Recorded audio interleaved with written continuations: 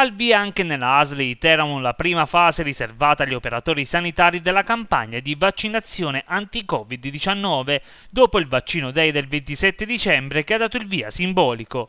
657 è il numero del personale medico che verrà vaccinato tra oggi e domani nei quattro presidi ospedalieri Teramo, Atri, Giulianova e Santomero. Sono 1170 le dosi ad oggi a disposizione dell'azienda sanitaria locale. Nel Teramano sono 4687 gli operatori che si sono iscritti nella piattaforma regionale, mentre sono 1460 gli anziani ospiti nelle strutture. Un evento importantissimo eh, speriamo ecco, che adesso continuino ad arrivare gli altri vaccini per iniziare tutto il vero iter per la vaccinazione prima degli operatori sanitari, poi delle altre, delle altre strutture eh, RSA e RA, eh, medici di base, pediatri per la scelta, libre, medici di professionisti, per poi iniziare a passare alle altre categorie, le scuole, eh, forze dell'ordine e infine per le popolazioni, iniziando eh, dalle indicazioni che sono state fornite dal Ministero della Sanità e dal commissario Arcuri.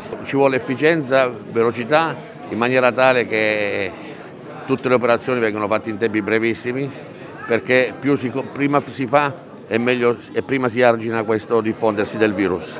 Per la giornata di sabato e domenica sono 657 che sono state poi suddivise in proporzione fra i quattro presidi Teramo Ardi, Giulianova e Santomero.